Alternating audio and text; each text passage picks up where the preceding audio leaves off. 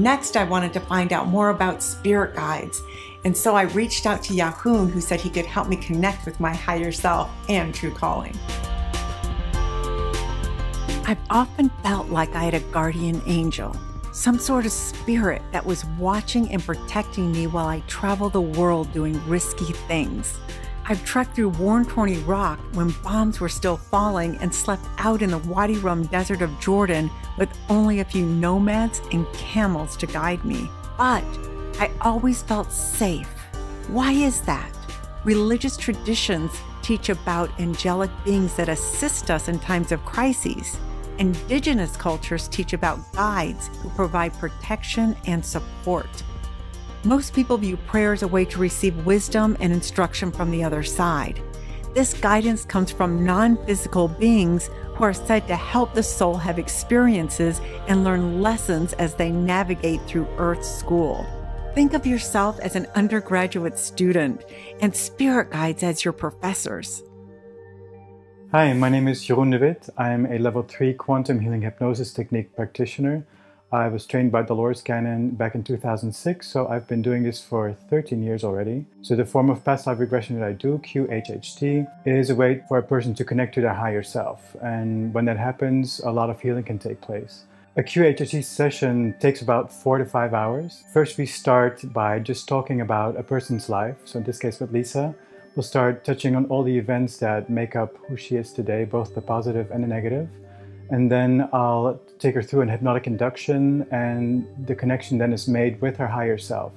It'll provide her with the most appropriate experiences that are the most healing for her. I'll ask her higher self questions about her life, like why are certain things happening? What is the metaphysical backstory to certain events in her life, if she wants to know. The purpose is for a person to um, recover parts of themselves and to find healing from their higher self, from their soul. There's different words for this. To recover their authenticity and to um, live a heart centered life. I was very receptive to Jeroen and I quickly slipped into a relaxed state of mind. I saw images. It felt like dreaming, but the images were very vibrant and felt real. And as you come back down, I want you to tell me the very first impressions that you have. I feel like uh, I'm just in white robes and spiritual stuff and. Mm-hmm. She was just right there. Where she went is she visited her council. Some sessions people visit or they experience themselves being part of a council of spiritual beings. I asked these other council members about the purpose of this council and, and particularly what, what's Lisa's job in this council. It's almost like a conference. Mm-hmm. Is it inside or outside? Outside. Tell me about how this space is organized. Are there people there? There's about six people. Mm-hmm. And uh, it seems like there's one main person. Oftentimes, when I'm encountering these beings in spiritual settings, um, in different se- in different sessions, they're always wearing robes. Is there any sense of the way they're dressed? Everyone's in white, mm-hmm. almost like a spiritual karate clothes, or you know, everyone's just baggy white. You know, where's the universal robe discount warehouse? You know, where's everybody getting their their robes? but it's also uh, for me to sort of get my bearings. So, okay, so there's robes. Okay, it's probably going to be a more spiritual experiences rather than a past life. What is Lisa's life all about? What did she come to the planet for? She was supposed to help people heal their deep wounds of pain and loneliness mm-hmm. and help heal the planet. Hmm we found out that her life purpose as being part of that council is that she's a volunteer here on the planet to help bring about more unity. Jeroen asked me to describe my mission in this lifetime. It is to bring cultures together hmm.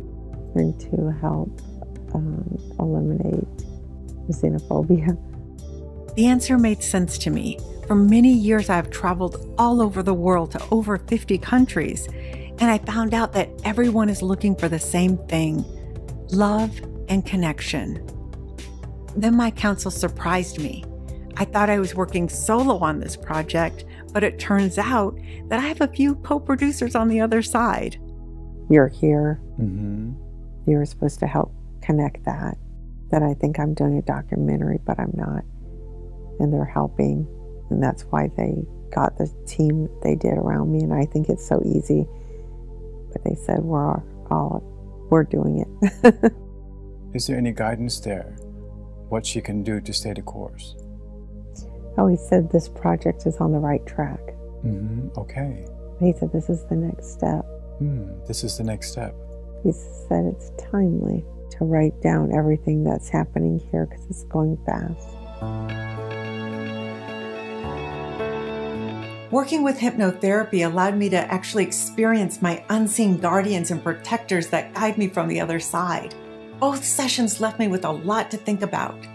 I think our world is struggling for connection and answers to questions like Where did I come from? Why am I here? And what's my purpose? But life isn't about getting everything right. It's about the journey you go on, the heart connections you make, and the experiences you have along the way. As difficult as life can seem, it's good to know that we have help and we're not alone on this journey.